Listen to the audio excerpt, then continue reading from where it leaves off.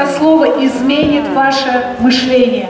Поэтому принимайте с открытым сердцем, слушайте, записывайте, потому что все, что не надает, обычно четко, ясно, понятно, прямо вот, чтобы каждый из вас взял эти пункты.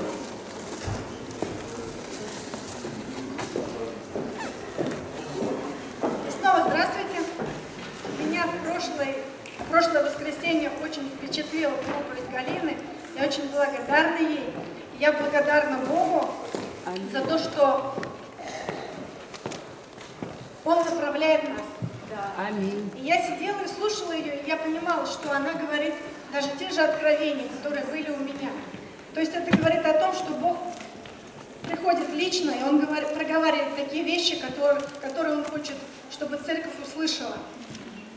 И очень много я стала размышлять, я вижу, как это проявляется и у каждого члена церкви. То, о чем говорила сегодня Евгения, пришло новое понимание. Приходит понимание в разных направлениях, приходит понимание в разных каких-то моментах. И та честность, о которой она говорила, Бог хочет, чтобы мы были честными. Бог хочет, чтобы мы понимали то, для чего Он нас создал. Он хочет, чтобы мы понимали то, для чего Он сотворил вообще все это на этой земле. Как нам этим пользоваться. И мне очень понравилась эта история. Она говорила я говорю о Галине, она говорила простые вещи, те вещи, с которыми мы все сталкивались. Тот же самый взрыв, после которого произошла жизнь.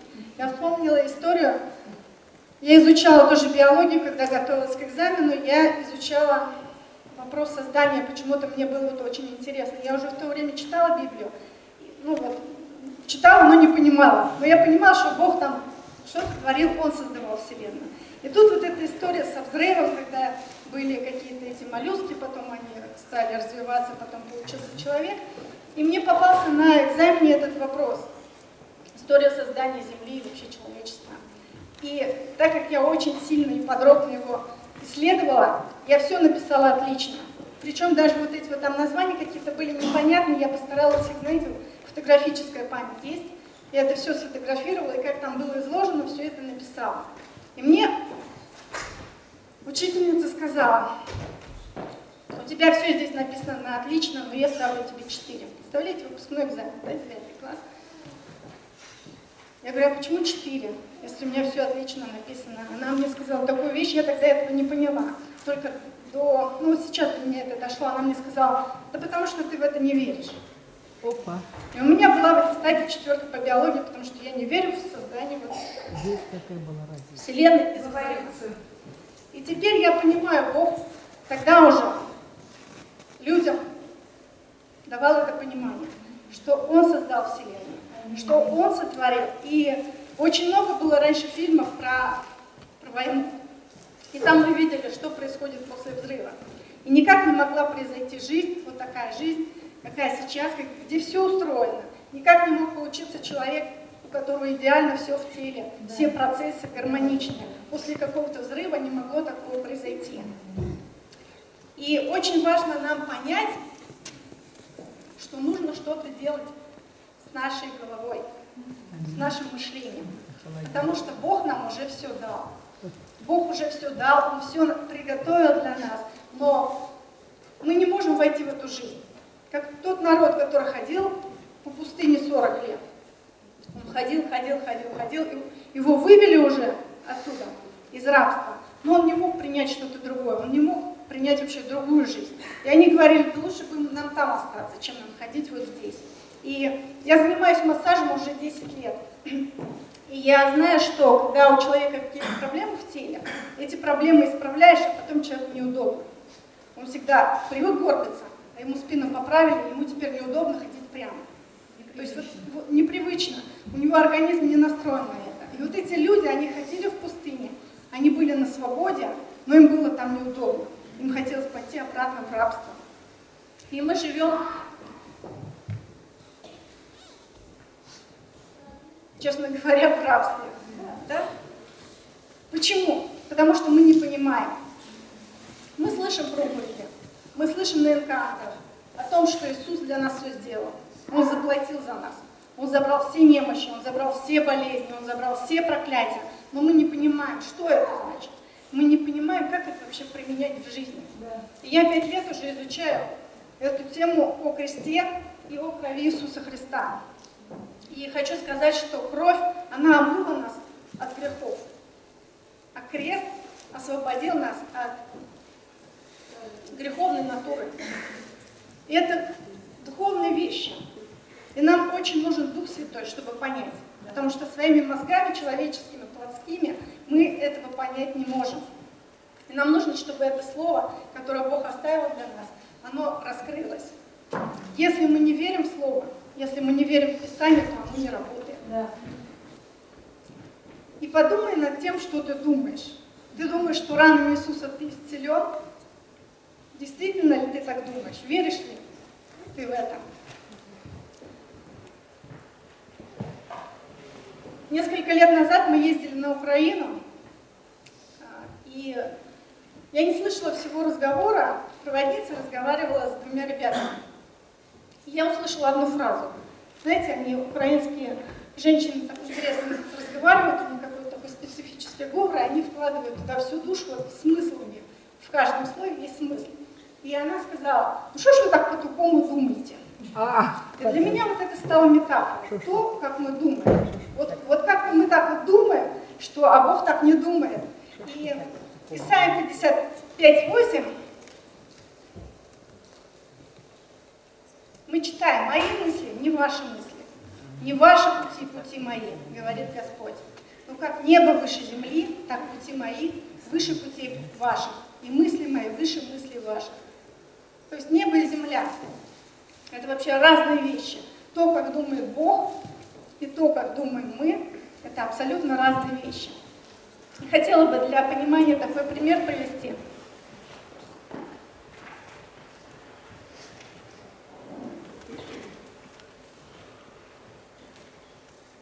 Мы поехали.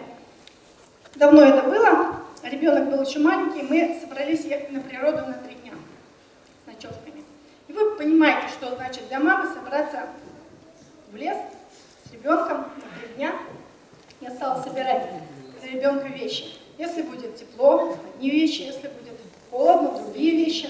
Если будет не очень холодно, еще нужно что-то. Если будет не очень тепло, если там комары, если нет комаров, ночью, днем, вечером. И вы понимаете, сколько вещей я набрала. Потом я для себя вещей набрала также, если тепло, если холодно. Потом нужно для мужа вещи взять. Нужно взять домик, где жить. Нужно взять то, что туда положить. Нужно взять, что поесть, из чего поесть. И вы понимаете, сколько вещей я набрала. У нас была машина, и я все это несу, несу, несу, и Дима говорит, куда это все? Будем закладывать. Вроде все необходимо, еще потом прихватила с собой пакетик, на колени положу, потому что это тоже необходимо. И я мыслила не так. Да? И он у меня спрашивает, куда это все совать, и у меня непонимание. Говорю, ну у нас передний багажник-то свободный, толкай туда все. И знаете, как робот, вот в фильмах робота, который что-то не понял, у него сбой программы и задымилось. Я смотрю на него, он не понимает вообще, что за передний багажник пустой. А я на него смотрю, и, и я тоже не понимаю, почему в пустой багажник вообще не, зас, не засунуть все, что нужно для ребенка, для семьи, чтобы нам там три, три дня пожить. И вот таким образом мы мыслим. Мы мыслим так, а Бог-то думает иначе. Он приготовил для нас что-то большое, что-то что вот все продумал, а мы не можем понять. Мы не можем разобраться с этими вот багажниками. У, у моего папы просто не было машины, я не знала, что там в переднем багажнике там двигатель еще неизвестно чего, для чего, и все, больше занято. И вот мы не понимаем то, что Бог хочет дать нам. Вот нашим разумом мы не понимаем. И в последнее время я очень близко стала общаться с Духом Святым. Я, раньше я просто не понимала. Мы когда пришли в церковь, пастор нам дала книгу «Доброе утро, Дух Святой». Я ее почитала, почитала. Потом еще мы у Алексея спросили, он первый, ее там у нас очередь была, одна книга на всех. Спросили у Алексея, что как там, вкратце расскажи, пока уже хочется знать, уже хочется жить, так он сказал. Ну, надо каждое утро просыпаться и говорить «Доброе утро, Дух Святой». Интересно, поможет, нет ли? Вот просыпаюсь «Доброе утро, доброе утро». И вот сейчас только до меня дошло. Вот это вот понимание, оно ну, оживилось внутри меня, что Святой Дух, Он дан для, для того, чтобы вот вообще всегда рядом быть, чтобы ходить за бананами, чтобы ходить вообще с Ним. Для меня был пример наша Тамара Алексеевна. Это человек, который всегда на связи с Богом. И одно время, я думаю, я буду как Елисей, наверное, скоро попрошусь к ней домой, буду с ней жить. И, и мне надо вообще это помазание, мне надо, чтобы Бог действовал в моей жизни так, как действует в ее жизни. Вы знаете, это помазание, оно пришло. И теперь я знаю, как, как это делается. И я хочу, может быть, для кого-то я буду примером, чтобы ты захотел, чтобы Дух Святой в твоей жизни, он начал тоже так так двигаться. Он желает этого. Главное, чтобы ты понял и открылся. И знаете, Мария, когда к ней пришел ангел и сказал, что ты зачнешь в чреве, она не понимает, она спросила, как это будет. Ангел ей ответил, Дух Святой сойдет на тебя, и сила Всевышнего осенит тебя. Я думаю, что она вот поняла все, сто процентов, как это произойдет. Потому что она еще больше не поняла. Лучше бы вообще не спрашивать, да? Она поверила. Она сказала, будет мне по словам твоим. То есть она приняла. И очень важно тебе научиться принимать слова Божьи. Мы очень много хотим чудес, мы хотим исцеления, мы не понимаем, как это может быть вот так раз, и все, и получилось исцеление. Если мы примем Слово Бога, если мы примем свой дух, то у нас будет это происходить. У нас будут происходить эти чудеса. И то о том, о том, как мы размышляем. Артур говорил, что он знал, что нужно прославлять Бога и просить. И это правда, нужно прославлять Бога и просить. Но у него немножко, вот у многих из нас, да, он говорил о себе, но мы, мы все так делали, может быть, еще и делаем в каких-то местах, что мы неправильно расставили приоритеты. Нам нужно больше прославлять, нам нужно больше общаться с Богом и потом попросить. И Недавно тоже я поняла, что человек, он состоит из духа, души и тела. Или как ну, обычно говорят, человек состоит из тела, души и духа, потому что дух мы не видим, мы видим тело. Когда заходит человек, мы видим, что вошло тело. Но Дух Святой обратил мое внимание на то, что человек – это дух. И в Бытие, 2 глава, 7 стих написано, что «Дунул дыхание жизни, и стал человек душой живое. В еврейском переводе написано, что человек стал другим говорящим духом. Говорящим духом, подобным Богу. То есть у нас есть это в духе заложена эта способность быть говорящими духами. То есть Бог творил Вселенную, Он сказал и стало, и потом Он увидел, что это хорошо. И вот у нас есть эта способность говорить, и станет так. И потом мы увидим это в реальной жизни. Мы увидим это вот в нашем физическом измерении. Но говорить надо начать в духе. И принимать откровение в дух.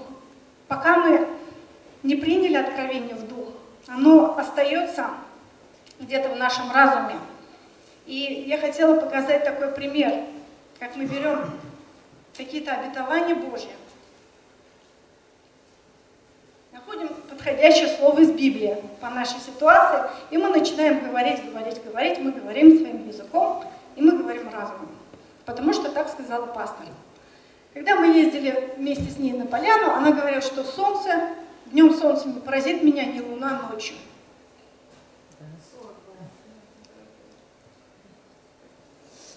И она никогда не обгорала. Мы с ней лежали рядом на поляне.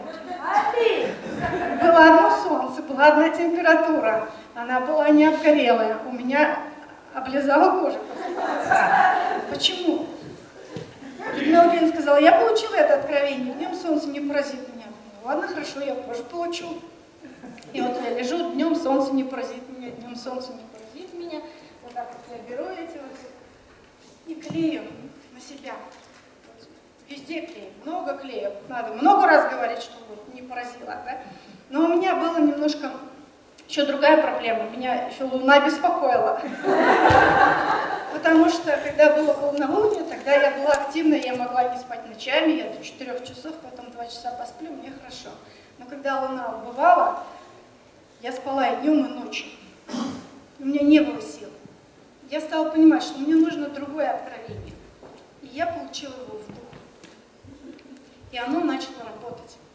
Причем меня не только Луна не стала поражать, меня и Солнце не стало поражать. Аминь. То есть, когда твое откровение, оно пройдет в твой дух, когда эта мысль, это Слово Божье, оно вживится в тебя, у тебя будут происходить изменения, твой разум, он обновится. И то, что вот это вот навешено сверху, которое не работает, нам это абсолютно не нужно. Потому что Бог все духом творил. И нам нужно вот эти откровения, эти мысли вживлять в свой разум. И в конце я покажу пример, как это происходило со мной. Как происходило вживление мысли. И что же нам теперь делать? На прошлом служении мы разрушили это проклятие превратного ума. Это проклятие, которое было на нас, которое пришло на нас, мы его разрушили. Но теперь нам нужно что-то продолжать делать со своими мыслями. Что-то нужно продолжать делать со мышлением, с тем образом мышления, которое было у нас. Написано, что Иисус освободил нас от суетного образа жизни, переданного от отцов.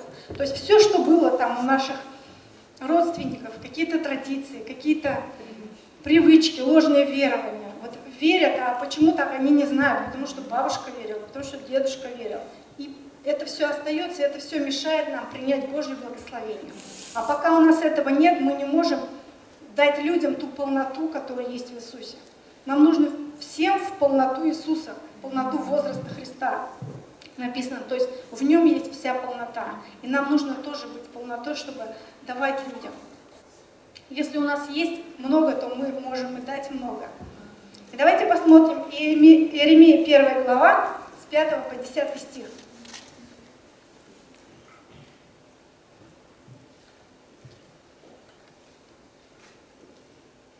Здесь я хотела бы на глаголы обратить ваше внимание. Там написано, что я поставил тебя пророком над народами и царствами, чтобы искоренять и разорять, губить и разрушать, созидать и насаждать. Это слово мне уже давно проговорил Бог, но я начинала размышлять над ним, над ним, и я не понимала, что нужно разрушать, кого нужно губить, что нужно искоренить, что нужно потом насадить.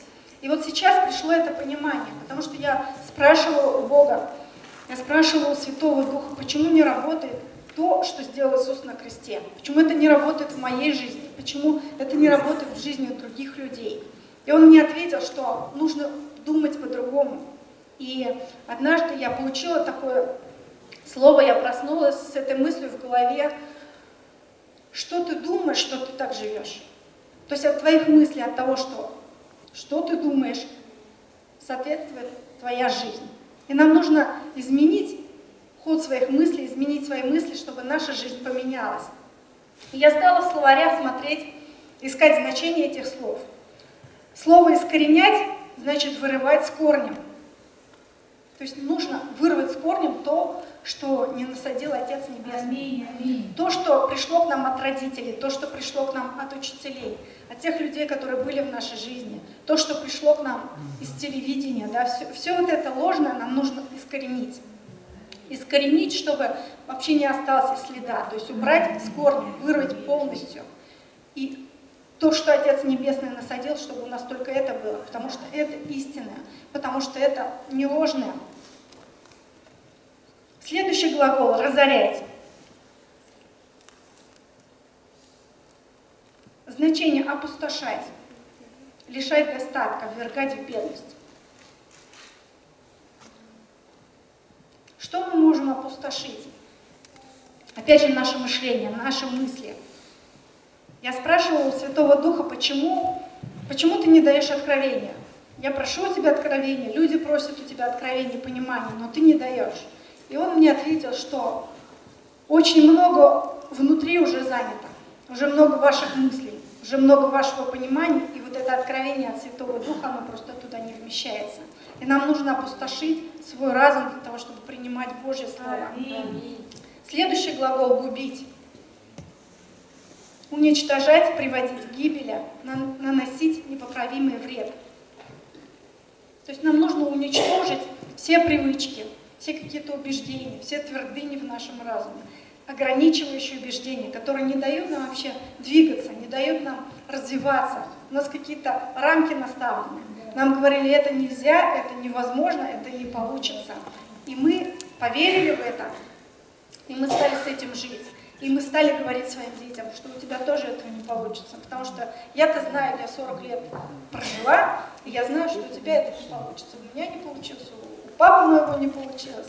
Нам нужно убрать вот эти вот все значки стоп, все значки невозможно, все эти вот какие-то, знаете, у многих людей внутри как такие трансформаторные будки, где черепушка зачеркнута, вообще не влезай туда, убьет, потому что, ну, не суйся туда, потому что так было и так будет оно. Но у нас есть Бог, у нас есть Дух Святой, и мы можем залезть туда и все это разорить искоренить. Мы можем разорить вот эти вообще неверные какие-то мысли, все, что мешает нам жить. Следующий глагол – разрушать. Приводить в полное расстройство, препятствовать осуществлению и расстраивать. Обычно в молитве мы расстраиваем планы замысла лукавого, чтобы они не состоялись в нашей жизни. Потому что у него на нас тоже есть свои планы, потому что он хочет, чтобы наша жизнь, она не состоялась, чтобы мы, мы были маленькими, ничего не значащими, ничего не смогли сделать. И у нас есть сила, чтобы мы могли разрушить вообще все эти планы. Да, да. Потому что Иисус на кресте уже все сделал. Он разрушил. Да. И теперь нам нужно самим потрудиться, нам нужно самим поработать над собой, со Святым Духом. Когда Бог создал Адама, Он еще не познал добра и зла, он еще не вкусил этого плода, он был полностью зависим от Бога. Он ходил, и написано, что в прохладе дня они общались. И вот Бог Адаму рассказывал, как, как что делать, как что вообще здесь устроено. И нам надо научиться вот вместе со Святым Духом. Когда пришел грех, тогда уже Адам был отрезан от Бога. И он начал своими путями ходить, он начал своими мыслями мыслить. И сейчас нам нужно вернуться в это состояние. И читала одну историю, где верующий человек очень много тоже изучал. Очень давно он был с Богом, и однажды он смотрел просто на природу. На, прошлом, на прошлом служении мы смотрели да, вот эти вот картины природы, этого прекрасного мира, который Бог создал. И он смотрел на это творение Божие и воскликнул, «О Боже, я мыслю вслед за Твоими мыслями». Нам нужно научиться мыслить вслед за мыслями Бога, не своими мыслями. Потому что только Он знает, только Дух Святой может подсказать тебе, как и что делать, куда тебе пойти, кто тебе может помочь, что тебе не нужно делать. Самое важное настроиться на голос Святого Духа и слышать Его. И затем еще идет два глагола. Это созидать и насаждать. Созидать – синоним этого слова. Создание, творчество и сотворение. То есть, когда мы все вот это вот почистили, свое сознание, свой разум, свое мышление, теперь мы можем насаждать и созидать, то есть творить. Творить совместно со Святым Духом. Здесь написано сотворчество, сотворение. Только со Святым Духом мы можем сотворить то, что будет работать, то, что будет полезно для нас, то, что будет полезно вообще для, для тех людей, которые находятся рядом. И очень важно найти вот эту вот зону доступа со Святым Духом. Потому что Святой Дух, Он, он не говорит там, где негатив. Он, его невозможно услышать, когда ты злишься. Его невозможно услышать, когда ты расстраиваешься, когда ты мыслишь о чем-то плохом когда твой разум он чист и свободен, когда ты пришел в покой, хотя у тебя, может быть, какие-то проблемы есть, как у тебя есть что беспокоит тебя, но если ты пришел в покой, отсоединился вообще от этого, ты тогда услышишь голос Духа Святого, и Он подскажет тебе, что нужно сделать. Он подскажет тебе, как ты думаешь, и зачем ты думаешь так, и откуда это пришло в твою жизнь, что ты так думаешь. И я хочу сказать, что очень интересно общаться со Святым Духом. И очень интересно познавать жизнь вместе со Святым Духом. Потому что Он знает намного больше. Намного больше того, что может дать пастор. Намного больше того, что могут дать служители. Намного больше вообще, что может дать энциклопедия какая-то. Дух Святой, Он знает про тебя все. И только Дух Святой, Он может тебе помочь сотворить эту жизнь. Я рассуждала над тем, что почему люди не исцеляются. Если есть какая-то проблема в теле, и когда училась э, учитель по неврологии нам говорят, что все болезни идут от нервов.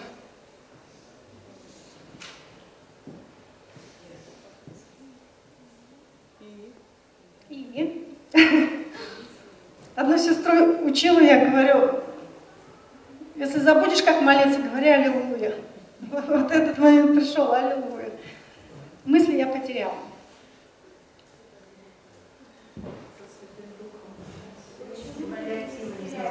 Почему люди не исцеляются? Да, вот все болезни от нервов, то есть все болезни от наших мыслей, от нашего беспокойства. И вот эта болезнь, она подкрепляется энергией мысли. И если есть какая-то опухоль в теле, если есть какая-то киста, ну какая-то болезнь вообще в теле, и ты перестаешь мыслить так,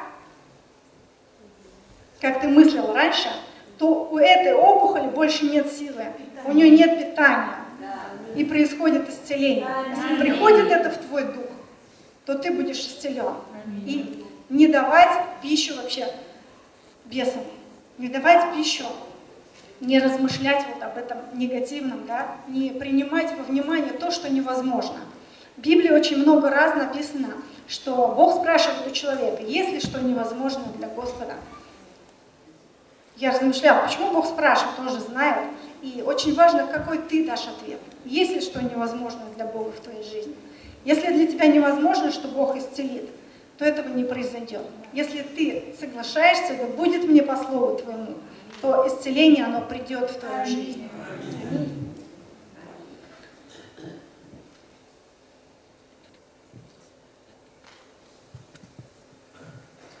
И очень важно нам понять, что обновление мышления, вот этот весь процесс, вот эти все шесть глаголов, губить, разрушать, искоренять, разорять, созидать и наслаждать, это процесс обновления мышления. Бог говорит, преобразуйтесь обновлением ума вашего, чтобы познавать вам, что есть воля благая, угодная совершенная.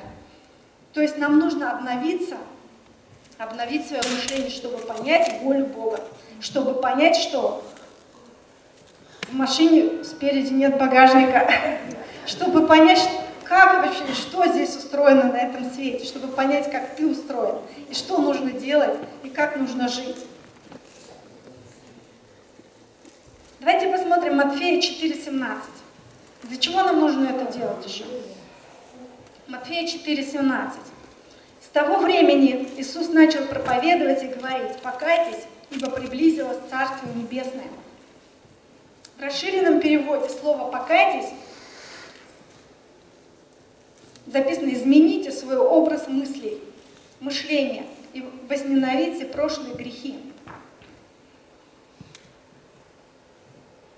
Когда Бог говорит свое слово, Он вкладывает смысл определенный. Когда мы говорим, каждый говорит да, слово, мы можем за одним словом, у нас стоит много смыслов. Для каждого человека свой, свой смысл. И слово «покайтесь» раньше я понимала как признать свою вину. Признать вину, раскаяться, Бог, прости, был неправ. Но покаяться это означает изменить образ мыслей, изменить свое мышление. Для чего?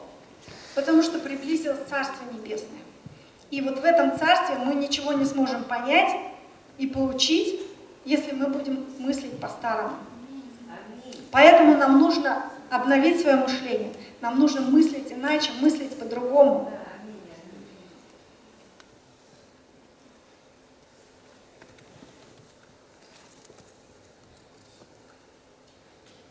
Своими мыслями мы творим. Мы творим картины мира, картину своей жизни. У каждого из нас есть своя картина жизни. А у Бога для каждого из нас есть своя картина жизни. И эта картина, она прекрасная. Эта картина она очень красочная и яркая. Но то, что пришло к нам, опять же, от наших поколений предыдущих, это, знаете, какие-то серые краски, грязные краски и некрасивые краски. Когда ребенок маленький начинает рисовать какими-то вот черными тонами, то его ведут к психологу, разбираются, почему это так. И вот наша картина, не знаете, такие похожи на каляку-маляку. Вот как могли, чем могли, то и нарисовали. И Бог, Он хочет, чтобы твоя картина, она стала яркой. Чтобы твоя картина, она соответствовала с Его картиной. Чтобы Его мысли с твоими мыслями, они начали совпадать. И чтобы мы мыслили вслед за мыслями Бога. Я хочу сказать, что это реально. Я хочу сказать, что Иисус для этого уже все сделал. И Дух Святой Он дан нам. И самое ценное, что что есть у нас в этой жизни, это не золото и не серебро, это Святой Дух. Аминь. Я верю, что потихоньку и помаленьку наш разум, он обновится. Он уже начинает обновляться. Иногда, знаете, вот вроде какие-то простые мысли приходят, но начинает голова трещать, потому что они туда не вмещаются. Потому что я так раньше не думала. Потому что я раньше вообще так не размышляла. Но Дух Святой, Он дает эту способность. И наш разум, он вообще безграничный. Самый лучший компьютер, он не сравнится с нашим разумом. Потому что наш разум, он может намного больше того, что вот может машина. И вместе со Святым Духом мы сможем сотворить свою жизнь и жизнь окружающих людей совсем другой, совсем совершенный, красивый. Я думаю, что очень многие люди, они хотят этого, но они не знают как. И вот это время, оно наступило. Бог дает нам эти мысли, Он дает нам это понимание, Он открывает это для нас.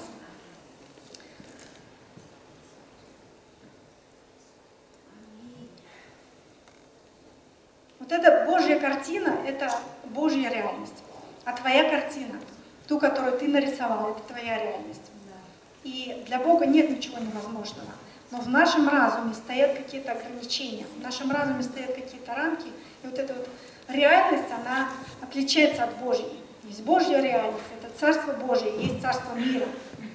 Та реальность, которую мы создали, которую создали нам.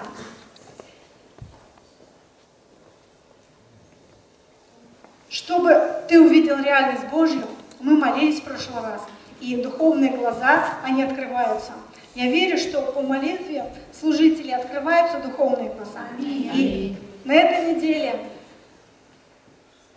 ты мог увидеть много чего, того, что раньше ты не видел. Аминь. И Дух Святой, Он каждый день рядом с тобой, чтобы изменять тебя. Потому, потому что у Него есть задача быть вместе с тобой. Потому что Иисус умер для того, чтобы Святой Дух пришел, и мы имели эту благодать, мы приняли эту силу чтобы жить новой жизнью. На кресте был решен этот вопрос греховной нашей плотской натурой. Мы прошли через крест. Мы еще будем изучать эту тему, потому что эта тема, она очень глубокая, она многогранная, и эта тема, она духовная. Потому что просто так понять мы, в Библии написано, что нужно, кто войдет мною, Иисус говорит, кто войдет мною и выйдет, тот жизнь вечную найдет. Да? И как, как вот это вот можно? Что, что значит пройдет, выйдет, куда войдет? Что значит, что я есть дверь? Вот над этим нужно размышлять. Я верю, что Дух Святой, Он открывает это постепенно, и нужно быть вот духом, говорящим духом, а не просто телом. Нужно из духа начинать творить свою жизнь. Аминь.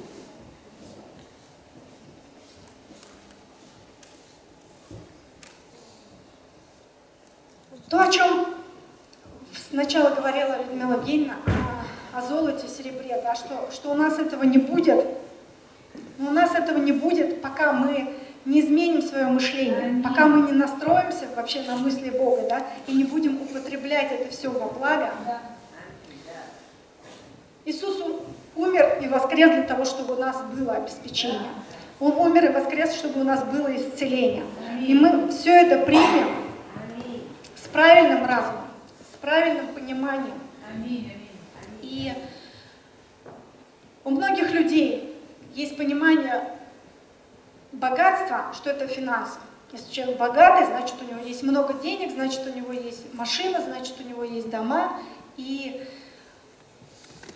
дальше ничего предположить не может.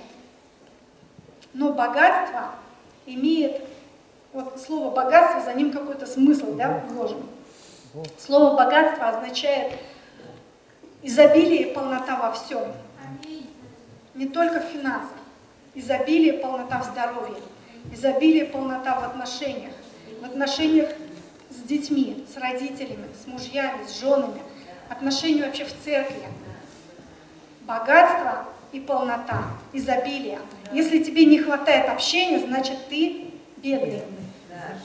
У тебя миллион может быть на карточке, но ты бедный, если тебе не достает общения.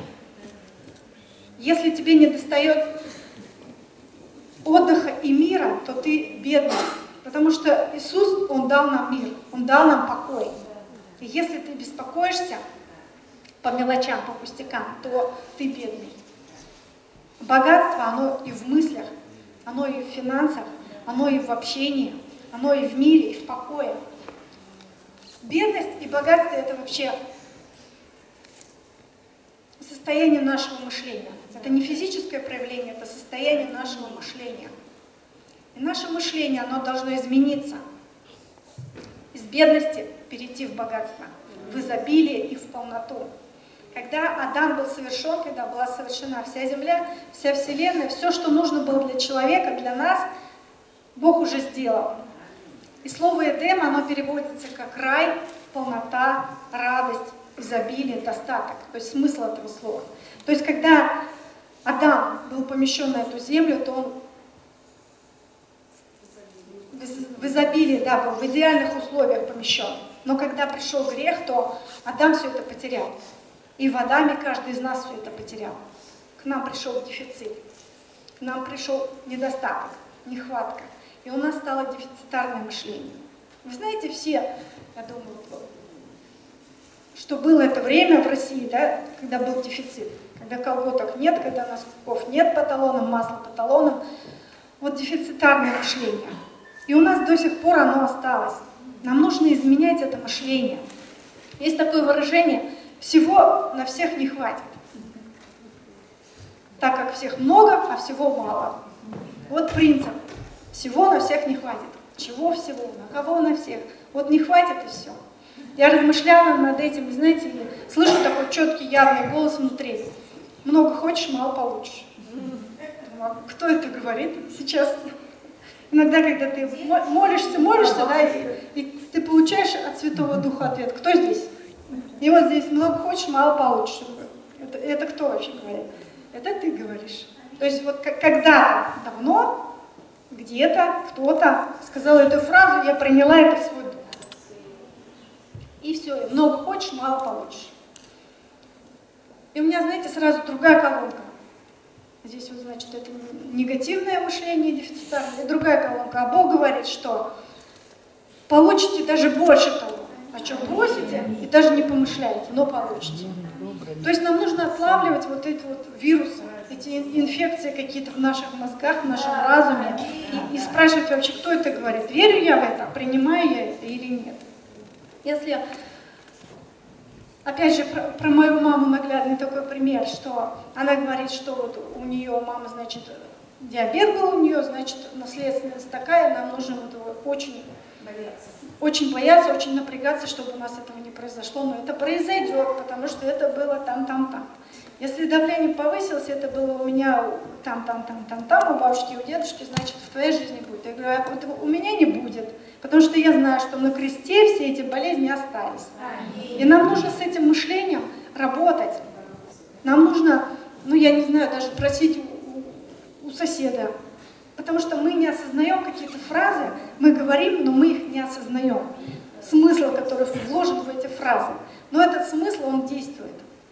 Что бы мы ни сказали, оно происходит в нашей жизни. Потому что мы творящие духи. Аминь. В нашей жизни уже это есть, мы уже творим. Но вот творим каляку-маляку. Я думаю, что научимся. Аминь. Очень быстро нам надо научиться красиво мыслить, потому что, ну, натворили уже достаточно. Нужно уже вот перетворить как-то. Да, надо перетваривать.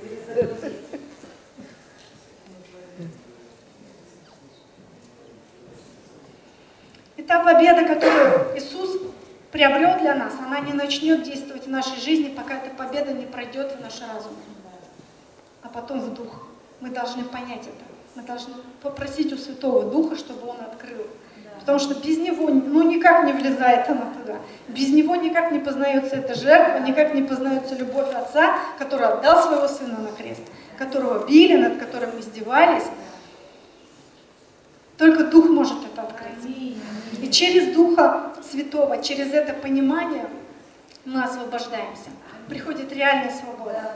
Вчера ты только думал по-другому, а сегодня что-то в твоем духе переключилось, и пришло это вообще, и жизнь, она меняется.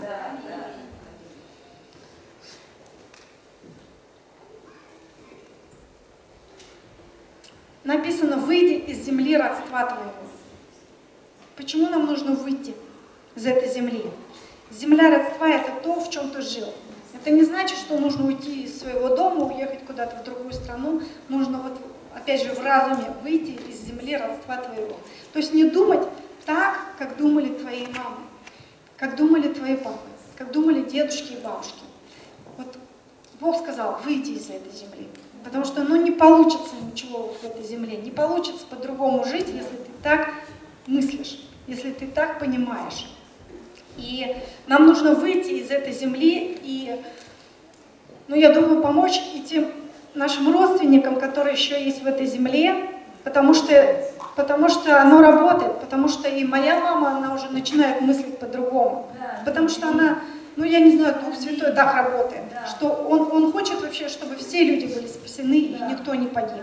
И поэтому через нас оно приходит, и я получила откровение о том, что если Бог пришел в твою семью, значит, Он пришел ко всей твоей семье, в твой род. И твоя семья, она будет спасена. Рано или поздно. Бог знает это время. Бог знает, какую ситуацию нужно сделать. Бог знает, как, как нужно его вообще довести до этого состояния. Ну, вот иначе у нас не получается. Нам нужно довести до какого-то состояния, откуда мы уже начинаем как бы выкарабкиваться.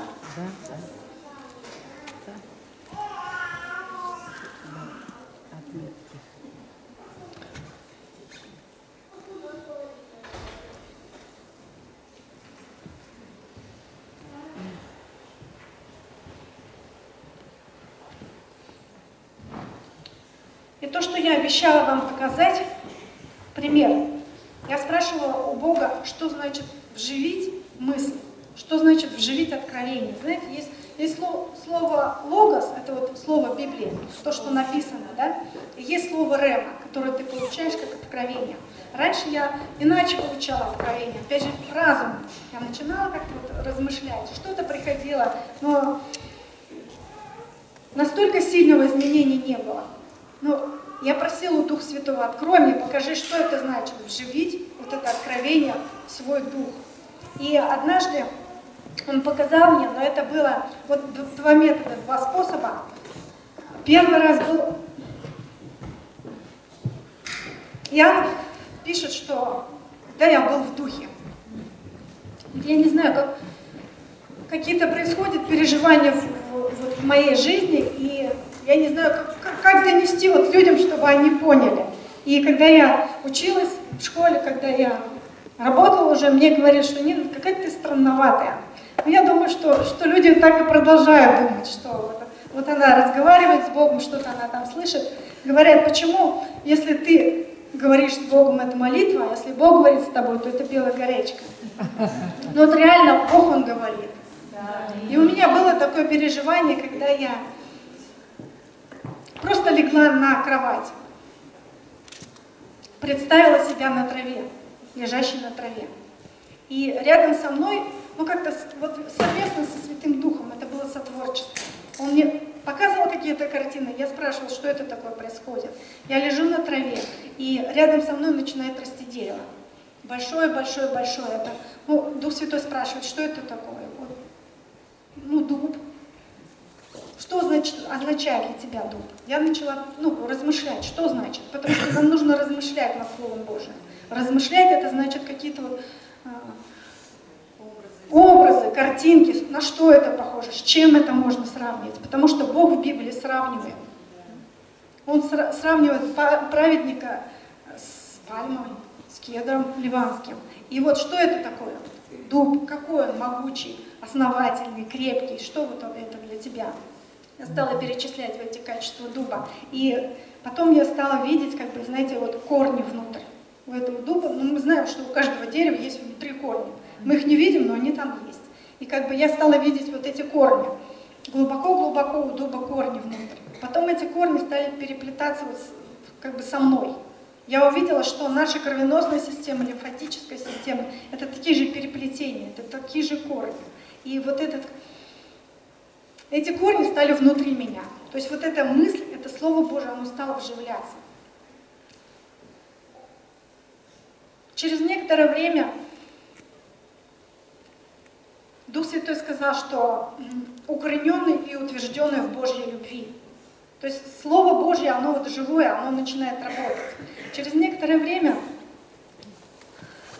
я стала подниматься над этой поляной, и дуб стал маленький, поляна стала маленькая, и знаете, как вот э, капля такая, большая капля, и стала падать вниз. Я понимала, что это как бы вот я.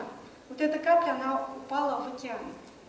И пришло такое понимание, что это океан Божьей любви, укорененный, утвержденный в Божьей любви, да. И это океан Божьей любви. Я поняла, что я просто там капля. И ты там капля. Но каждая капля, она особенная. Вот ты особенный для Бога. Бог создал тебя таким особенным, не похожим на других. И никто другой за тебя не может сделать в жизни то, что ты можешь сделать. И поэтому каждый для Бога очень ценен, и каждый из нас, мы ценность друг для друга. Это понимание все больше и больше стало приходить, что каждый из нас, он ценность. Бывает сложно это понять, бывает сложно это принять, потому что многие женщины, когда мы им служим, мы говорим, что вот смотришь, ну очень красивая женщина. Ей говоришь, что ты такая красивая, она говорит, это не про меня. Я всю жизнь считала себя уродом. Говорю, это как то Я говорю, даже вот не понимаю, как, как, как могла ребенка родить, как вообще мужчина ко мне подошел, потому что я урод. Я говорю, откуда это вообще пришло? Я не знаю, откуда это пришло. Вот кто-то когда-то сказал, и теперь мы с этим живем. Но Бог говорит, что ты прекрасна, ты прекрасна. И нужно это принять, попросить у Духа Святого. Опять же, сами мы не можем это принять. Только Дух Святой может открыть эту ценность самого себя для тебя и для других людей. И следующее – это был один вариант. Да? Но я думала, что это очень быстро произошло, но оказывается прошло полтора часа, пока вот, вот эти вот корни, пока это все видение было. И другой вариант, когда я проснулась утром, и Бог говорит, что праведник цветет как пальма, возвышается подобно кедру на Ливане. Давайте мы это посмотрим. Псалом 91, 13.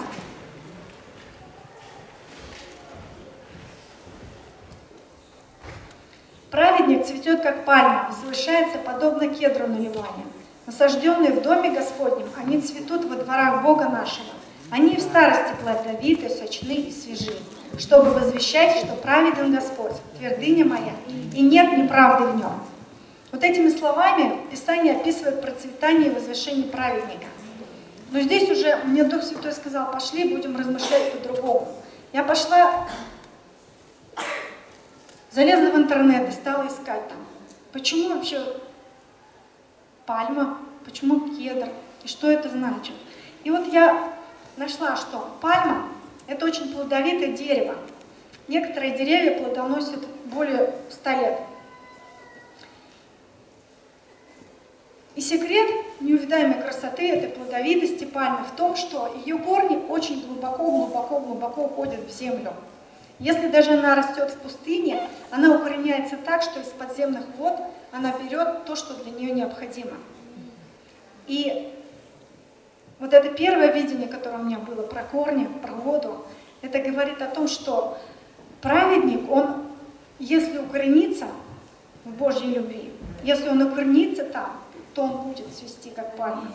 Мы, бывает, что вот так вот приклеили, праведник цветет, как пальма, но что-то не цветется, что-то как-то не получается. И вот когда ты в дух свой получишь вот это цветение, когда ты получишь вообще понимание, почему пальма, почему она цветет, нужно понять, что нужно укорениться, и для того, чтобы пальма вообще росла вот такой красивой, ей нужно два условия, это вода и свет, солнце. То есть для того, чтобы мы, праведники, цвели, нам нужен Бог, потому что Бог есть свет, и нам нужна вода, нам нужно питание Слова Божьего. По-другому у нас никак не получится аффирмациями мы не станем праведниками. Мы не сможем себя вообще убедить, что мы праведники, потому что мы честные должны быть перед собой. Потому что Вселенная, она, Бог нас понимает так, как, как вообще внутренность нас, наша отражается. Тот запрос, который есть у нас внутри, на это все откликается. И мы не сможем обмануть ни Святого Духа, ни Бога. И вот эта пальма, она не производит вообще ничего, что может быть бесполезным. И ствол, и корни, и плоды, все это употребляется для чего-то. То есть, да, нет ни одной вот бесполезной какой-то части у праведника. У нас все для того, чтобы во благо и себе, и другим. Аминь. Дальше я читала, что Пальма никогда не сбрасывает листву. Она постоянно цветет, приносит плоды. Ее древесина не подвержена гниению. То есть ну, ничто не может поразить ее, потому что она питается, потому что она крепкая. И вообще праведник, он не может быть поражен чем-то. Ни одно орудие, направленное против меня, не будет успешным, да? если ты укоренен в этом слове. Если слово, слово Божье в твоем разуме, то ничего не сможет повредить. И затем я смотрела ливанский кедр. Кедры вообще они росли. Это была долина Ливан, то есть это была такая горная местность. И кедры, они росли на самой верхушке горы. И вот эти кедры, они были очень большие, они до 50 метров в высоту. Где-то если высота там потолков комнаты 2,5 метра, то ну, где-то 20-этажка, да? Вот на возвышенности горы 20-этажный кедр стоит. Вот праведник. Вот мы такие. Бог нас такими видит. Такую картину Бог нарисовал. А мы считаем, что мы саранча. Такие вот кедры там стоят большие. И в глазах наших мы как саранча. Мы какие-то уродики. Мы какие-то не такие. У нас чего-то не достает. Но Бог смотрит на нас по другим углом. Он смотрит другими глазами. И нам нужно уже научиться согласиться, принять. Да, Господь, ты так мыслишь, я принимаю Твое Слово. Да, будет так, Дух Святой сойдет на меня, сила Всевышнего сил. Но не знаю, как это будет, но пусть так будет. Когда я получила слово, что ты будешь служить на энкаунтере, я говорю, ну как вот вообще можно? Ну, ну зачем? Я метр пятьдесят девять. Ну, есть же вот повыше, побольше, пусть они там. Но он сказал мне то же самое, как и Мария. Дух Святой сойдет на тебя, и сила Всевышнего осенит. Аминь. Ничего не поняла, говорю, хорошо, ладно, пусть так будет. И знаете, оно получается, если ты соглашаешься, если принимаешь внутрь себя Слово Божие, оно будет работать. И ты сможешь стать тем, кем ты задумал, сам себя, кем задумал Бог. Потому что мысли Бога, если ты услышал эти мысли, если ты согласился, то это будет в твоей жизни. Аминь. И еще кедр выделяется тем, что он отличается своей породой. То есть вот, вот эта вот долина Ливан, там были растения, ну, кустарники какие-то, вот такие вот растения, которые не очень высокие были. И они росли очень близко, ну, вот сплошь. Если с самолета смотреть, то это просто как полянка, такая травка. А вот эти кедры, они высокие, они возвышались. И их Ветви, они были под прямым углом. То есть вот так вот. Вот такие были кедры. И они выделялись. Среди другой растительности они выделялись. Их также до, до трех тысяч лет могли расти эти кедры. Две-три тысячи лет. И очень сильный запах, аромат из-за смолы, которая содержится в этом дереве.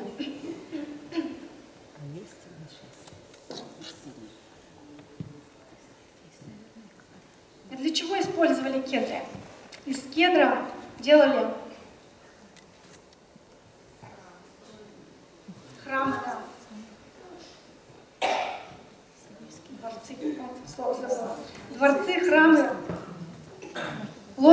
сюда делали, и они не портились.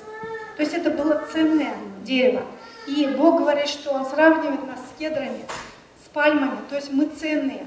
У нас есть то, что может для других быть полезным. У нас есть все, что нам нужно для того, чтобы мы процветали, для того, чтобы мы были великими. То есть мы, как праведники, мы выделяемся приметностью положения. Бог сказал, что будете на высоте и не будете внизу. То есть подобно кедру, мы на высоте, мы, мы видные, нас видно. И люди это замечают, но иногда мы не придаем этому ценности. Мы сами себя не ценим. Люди это начинают видеть, начинают тянуться, а мы, да ладно, что там, я что, ничего. Но Бог, Он хочет, чтобы мы были как кедры на Ливане.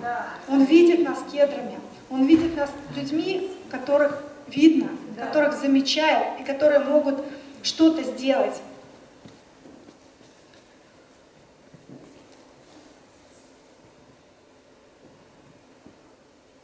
И пусть эта картинка, она останется в твоей голове. Каким ты являешься? Ты на высоте. Ты отличаешься от других людей. Тех людей, которые еще не знают Бога. Ты выделяешься среди них.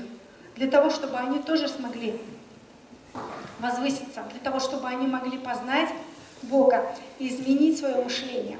Поменять свое мышление, потому что мир, он устал от того негатива, а, от той боли, которая есть. И народ, он хочет выйти, он желает измениться, но он, он не знает, у него нет этих механизмов. Очень много каких-то книг, очень много какой-то информации, люди идут на эти тренинги, они идут и учатся.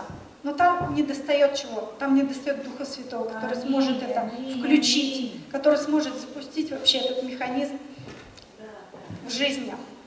И я думаю, что наше мышление, оно потихоньку, помаленьку меняется. И мечты Бога, они становятся нашими мечтами. И со Святым Духом мы это можем исполнить. И вот такие две книги, у меня осталось очень немного их. Дмитрий Макаренко «Скажи горе» две части. Здесь вторая книга «Сила сотворения» и первая книга, там есть места Писания, там есть обетования, которые мы можем брать и размышлять. И там очень простым языком написано, как, как это все работает и как мы можем это включить вообще в своей жизни. Очень много новых людей, и я думаю, что не у всех еще есть эти, эти книги. У меня осталось 16 комплектов, так что кому, если нужно будет, подойдите, пожалуйста, ко мне. И давайте помолимся.